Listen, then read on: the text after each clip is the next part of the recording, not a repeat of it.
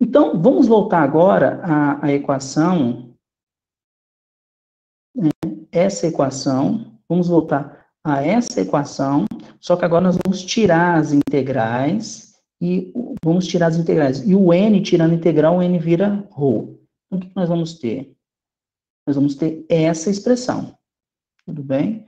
E nós temos que lembrar que H, quem é o operador H? Operador H, escrevendo ele explicitamente, porque ele é operador energia, quem ele é? Menos H cortado sobre duas vezes a massa, derivada segunda dx2. Essa aqui é o termo de energia cinética. E o termo de energia potencial T. Então, tem o primeiro termo, que é energia cinética, o segundo, que é energia potencial. Então, esse operador atuando na PC, eu tenho esse termo e esse termo. E esse mesmo operador atuando na PC estrela, eu vou ter esse termo e esse termo aqui. Com isso, como esses dois termos são iguais, esse termo é igual a esse, ele se cancela, e só vai sobrar o termo de energia cinética, que é a derivada segunda. Então, eu posso escrever essa derivada da densidade de probabilidade em termos desse termo aqui, ó. E podemos simplificar, né? Tem um H aqui, com H cortado, e o, o I que aparece em cima, eu posso colocar ele embaixo. Quando o I vai para baixo, ele vai como positivo. Então, menos I vira I. E nós podemos ver uma situação aqui interessante, ó. Nós temos aqui o produto das funções, só que aparece a derivada segunda. Então, o que nós podemos fazer? Nós podemos usar uma integração por partes para transformar essa, essa derivada numa derivada total. Então, nós vamos transformar essa derivada em uma derivada total, mais uma derivada cruzada. E vamos transformar também essa derivada numa derivada total numa derivada cruzada. A derivada cruzada, nos dois termos, tanto nesse como esse, vão ser iguais. E como está um sinal negativo, vão se cancelar.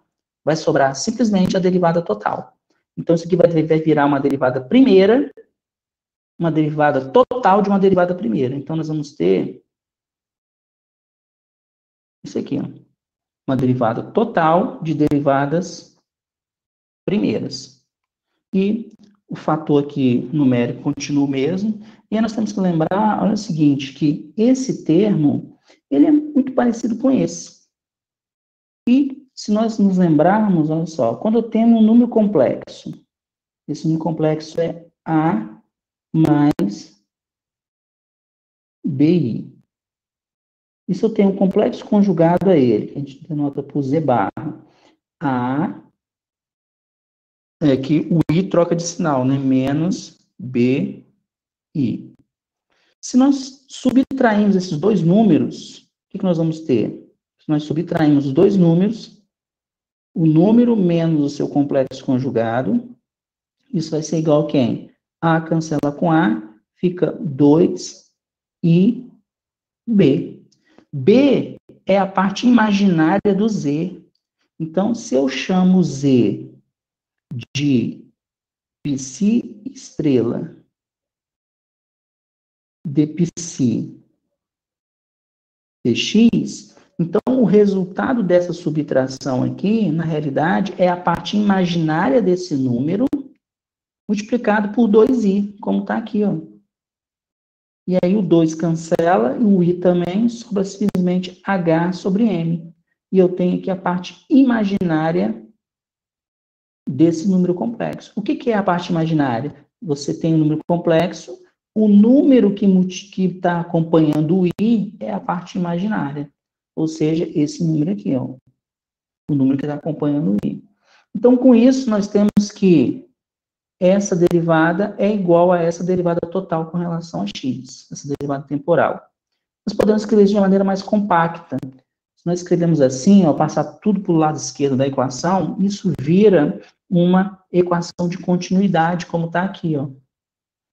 E o J, o que nós chamamos de J, vai ser a corrente associada a essa carga que, que é o ρ. Nós estamos fazendo aqui uma analogia entre carga elétrica e corrente, densidade de corrente elétrica. Então, o nosso J, que é a nossa corrente, que é a corrente de probabilidade, ela é dada por essa expressão, H cortado sobre M, parte imaginária de psi estrela de psi dx.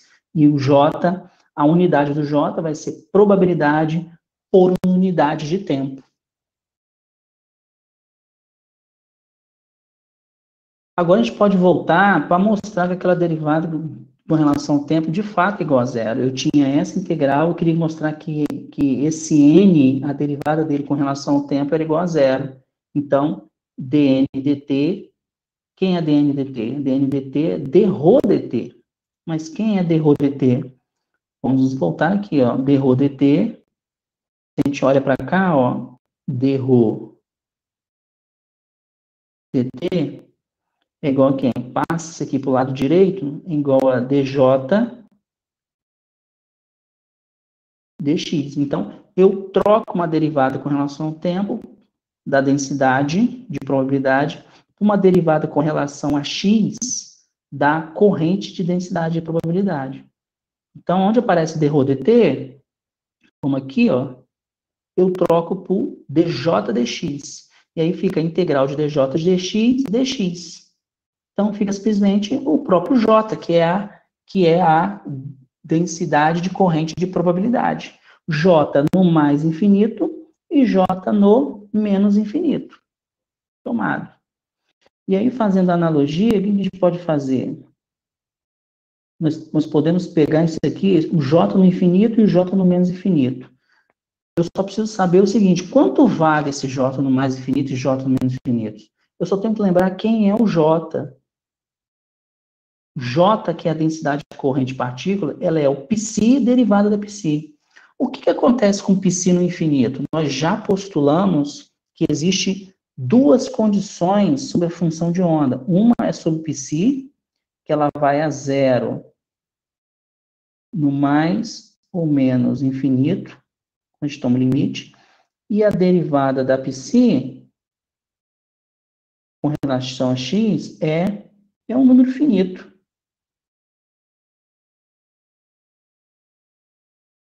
É finito. Então, no infinito, se eu pego um número que é finito e multiplico por zero, vai dar zero. Então, lá no infinito, o meu j ele é igual a zero, e no menos infinita, a corrente j também é igual a zero. Então, essa derivada é igual a zero, como nós queríamos mostrar. E o que isso quer dizer? Quer dizer que de menos infinito até mais infinito, a probabilidade se conserva. Ou seja, o que isso quer dizer? De menos infinito a mais infinito, com o passar do tempo, a probabilidade não varia. É isso que quer dizer. Agora, em vez de falar de menos infinito a mais infinito, ou seja, no espaço inteiro, vamos pegar a probabilidade no intervalo, por exemplo, de A até B do eixo X. Então, eu quero saber o que acontece com a probabilidade aqui dentro desse intervalo. Para fazer isso, o que eu preciso fazer? A probabilidade AB é a integral de ρ, que é a densidade, de A até B. O que nós já sabemos? Nós não queremos saber como que essa probabilidade se comporta, então nós vamos derivar com relação ao tempo.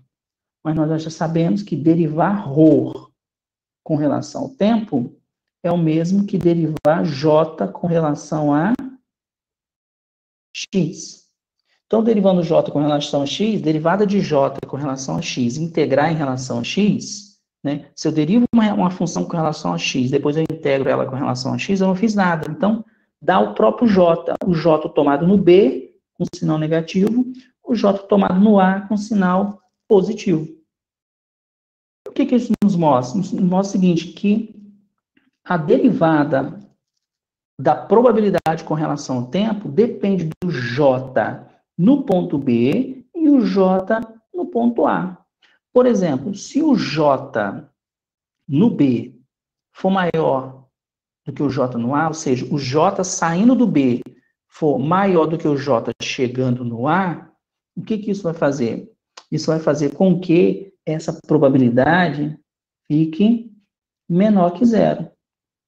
Por quê? Se o J do B é maior do que o J no A, então tem mais probabilidade, tem mais probabilidade saindo da região do que chegando na região. Então, na região AB, a probabilidade está diminuindo de você encontrar a partícula ali dentro. Agora, vamos pensar o contrário. Vamos pensar que a, a corrente no B é menor do que a corrente no A. Se a corrente no B é menor do que a corrente no A, então esse valor dá positivo. Significa o seguinte, que a corrente que chega no A é maior do que a corrente que sai no B. Então, a probabilidade na região AB está aumentando com o tempo. O que isso quer dizer? Que a probabilidade de você encontrar a partícula na região AB está aumentando no tempo. Tudo bem? Então, são duas situações diferentes, né? Aqui nós estamos pegando a probabilidade na região AB.